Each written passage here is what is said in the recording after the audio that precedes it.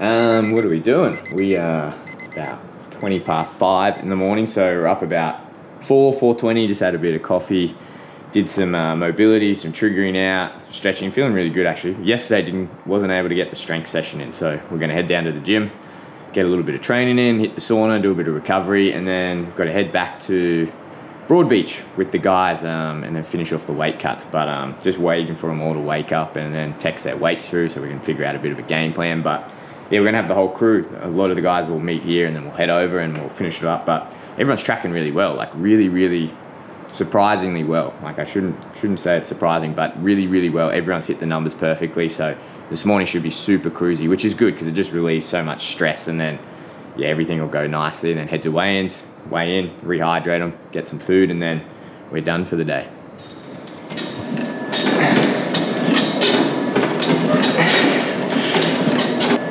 Asked me 12 months ago if I'd be doing tippy toe calf raises in a gym. I would, I would have punched myself.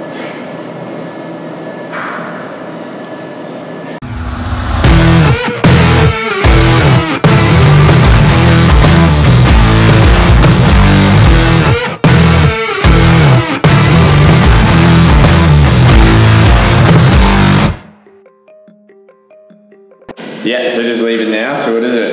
7.20. So we're heading over. The game plan is to have everything set up like 8, 8.30ish. Weigh-ins at 1 p.m. So what that gives us like four, four and a half hours to, to get these guys on weight. So some of the guys have a, a little bit to do, but nothing too crazy if everything runs smoothly, if everyone stays calm, if we've got the right temperature of everything. So and we've got a good crew with us. Like we've got lots of support. Like that's the big thing is like when you're running around by yourself, it can get quite stressful and you might miss little things. But we've got a really big crew here, so lots of help, which goes a long way doing this.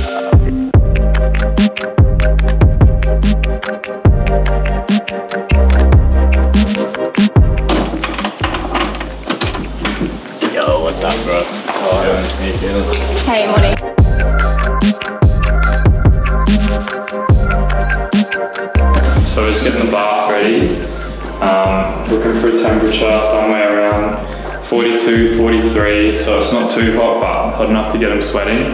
Um, so we like to just yeah make sure that's all set up and ready to go. And um, we'll start the first round shortly.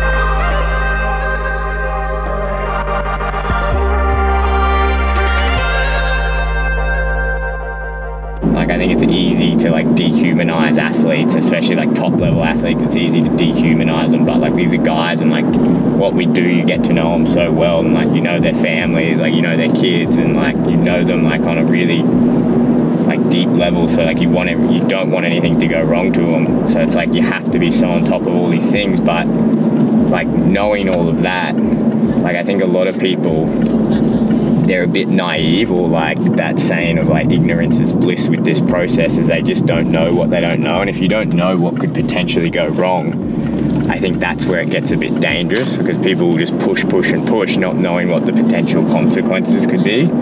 So i think it's like i always feel a bit nervous doing this because like we appreciate what the risks are so much. And i think that's very important though because appreciating that risk makes you manage it so much better and like really be a lot more dialed in and smart, switched on, and like yeah, you laugh and joke and stuff. But this business end is like it's exactly that. It's the business end. It's like their health and their well-being. So you've really got to be dialed on, and it's like a real pressure cooker situation. I think a lot of people like what we do and they see it on social media and they see like everything that happens after all the travel and like the cameras and blah blah, and they think oh yeah, that's really cool.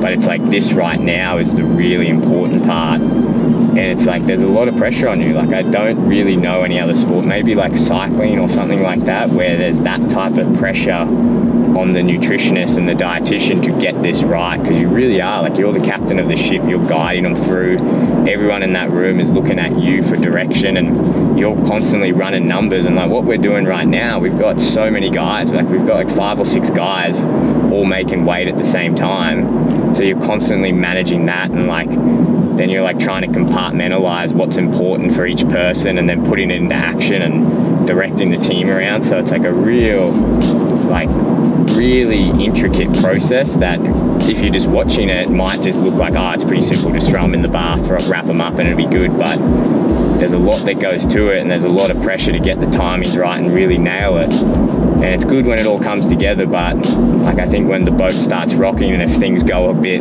a bit uh, off stray or a bit off course, that's where you've really got to know your stuff. Like if things don't go to plan, you've got to really be able to strip it back and go, okay, what's happening here? What can I do to fix this problem? How do I problem solve it? And how do I do this so I'm looking after this athlete and looking after their well-being? And what's the best move for me to make right now to look to do that, to make sure that they're okay, to make sure they're going home to their family and their kids and whoever else. So it's like it's a real pressure cooker situation. I think it's if you're not getting nervous, you probably don't appreciate the risk of it. Even if you're doing like a mild to moderate cut, there's still so much risk, and you have to appreciate and respect that, and then act accordingly to it.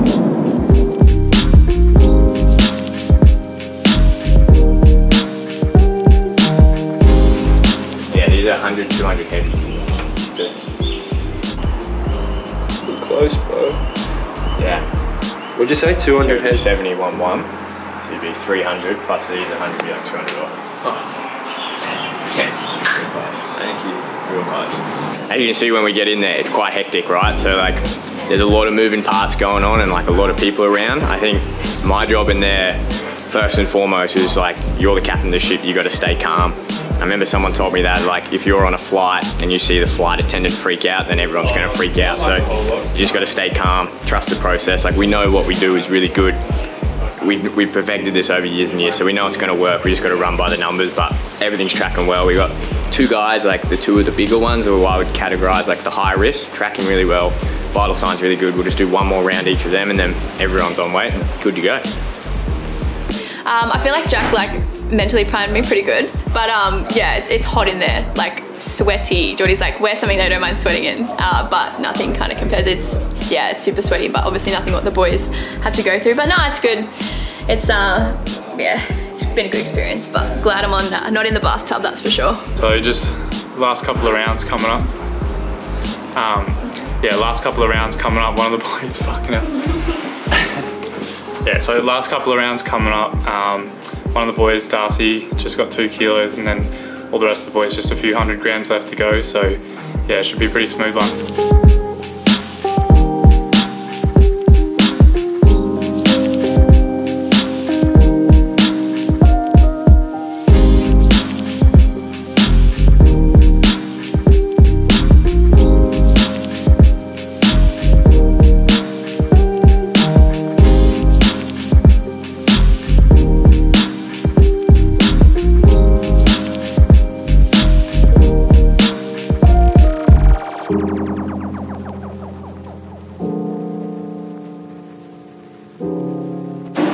Think I'm in ketosis. Here we go. Having a hypo. Yeah, do my blood now. Definitely, We're all in definitely hypo. We're all in ketosis. We're done. We're done. Let's do it. Let's go. What are we hanging around? That's fine. So welcome to the TFD eating challenge. We're going to try everything on the menu at Guzman Guzmani Gomez. Yeah, I got the fries. Yeah. Enchilada. Spicy chicken. No, that's you. Yep, with guac. Yeah, boy. Spicy chicken without guac. Is it mild Jordy. chicken? Um, give me that mild chicken. Mild chicken. Was that you, Loz?